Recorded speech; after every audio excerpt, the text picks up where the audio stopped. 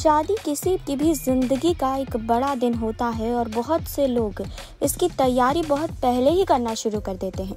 जानवी कपूर भी उन्हीं लोगों में से एक है। जानवी कपूर ने एक इंटरव्यू में खुलासा किया कि उन्होंने अपनी शादी को लेकर अभी से सारी चीज़ें तय कर ली है। जानवी कपूर के फैंस को उनकी ज़िंदगी और लव लाइफ के बारे में जानने की उत्सुकता हमेशा रहती है।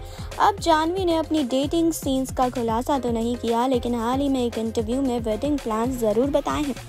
जी हाँ तो आपको बता दें कि आज जानवी कपूर अपना जन्मदिन मना रही हैं। आज जानवी कपूर का जन्मदिन है और उनके जन्मदिन के मौके पर उनका एक इंटरव्यू काफ़ी वायरल हो रहा है, जिस इंटरव्यू में उन्होंने अपने शादी के प्लान के बारे में बताया है।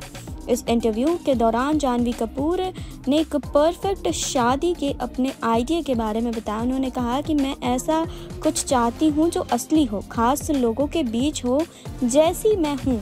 उससे जुड़ा हो। मुझे धूमधाम फैंसी ढंग से शादी नहीं करनी। उन्होंने आगे कहा कि मुझे अभी से पता है कि मेरी शादी बहुत पारंपरिक होगी। मैं गोल्ड जरी वाले कांचीवरम साड़ी पहनूँगी, अपने बालों में ढेर सारा मोंगरा लगाऊँगी, मेरा पति लुंगी पहनेगा। ये शादी एक प्राइवेट सेरेमनी में होगी और हम केले के पत्ते पर खाना खाएँगे।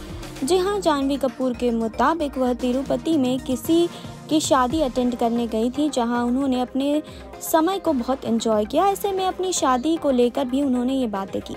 जानवी ने कहा कि उन्हें बड़ी शादियाँ अच्छी नहीं लगती, वह बड़े इवेंट में आकर्षण का सेंटर बनने से डरती हैं। जानवी कपूर ने यह भी बताया कि उन्हें तिरुपति जाना पसंद है। उन्होंने कहा कि मैं तिरुपति बहुत जाती हूँ और जब ज़िंदगी में इतने बड़े कदम को उठाने की बात आती है तो मैं वहाँ उस शख्स से शादी करना चाहूँगी जिससे मैं प्यार करती हूँ। तो अपनी शादी को लेकर ये सारी चीज़ें जानवी कपूर ने बताई है और आज जानवी कपूर अपना जन्मदिन भी मना रही हैं।